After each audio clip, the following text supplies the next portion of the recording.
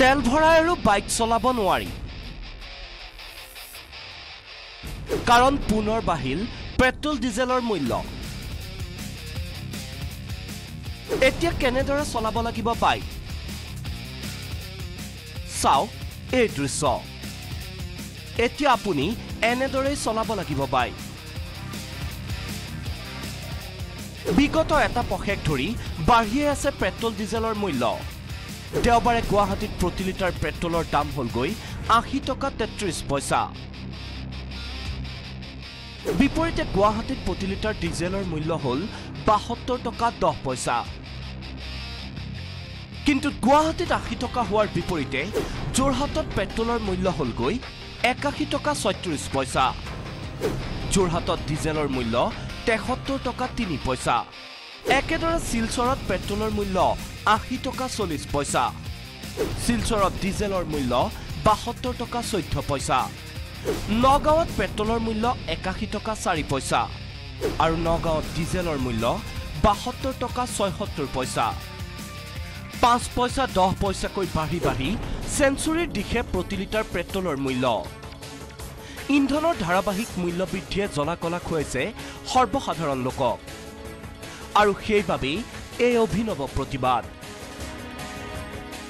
মৰাণত শ প্ৰতিবাদকাৰীয়ে পেট্ৰল আৰু ডিজেলৰ মূল্য বৃদ্ধিৰ বিৰুদ্ধে বাইক ঠেলি ঠেলি এনেদৰেই সাব্যস্ত কৰিলে।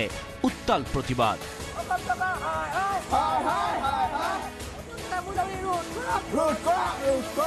খোৱাং চাৰিআলিত সোণোৱাল কছাৰী গণমঞ্চ আৰু সোণোৱাল কছাৰী যুৱ মঞ্চই এই অভিনৱ প্ৰতিবাদেৰে শীঘ্ৰে পেট্ৰল ডিজেলৰ মূল্য বৃদ্ধি ৰোধ কৰিবলৈ দাবী জনায়। সাতত্ৰিছ নম্বৰ ৰাষ্ট্ৰীয় ঘাইপথত পেট্ৰলিয়াম মন্ত্ৰী মুৰ্দাবাদ বিজেপি চৰকাৰ গ' বেক আদি প্লে কাৰ্ড লৈ বাইক ঠেলি ঠেলি সোচ্চাৰ হৈ পৰে প্ৰতিবাদকাৰীসকল মূল্যবৃদ্ধিৰ ফলত ইতিমধ্যে আপোনালোকে দেখিছে যে যান বাহনৰ ভাড়া বৃদ্ধি প্ৰক্ৰিয়াত আৰম্ভ হৈছে আৰু বিভিন্ন ধৰণৰ সামগ্ৰী দৈনন্দিন যিবিলাক প্ৰয়োজনীয় সামগ্ৰী আছে সকলোবোৰ বস্তুৱে আজি মূল্য বৃদ্ধি হ'বলৈ ধৰিছে।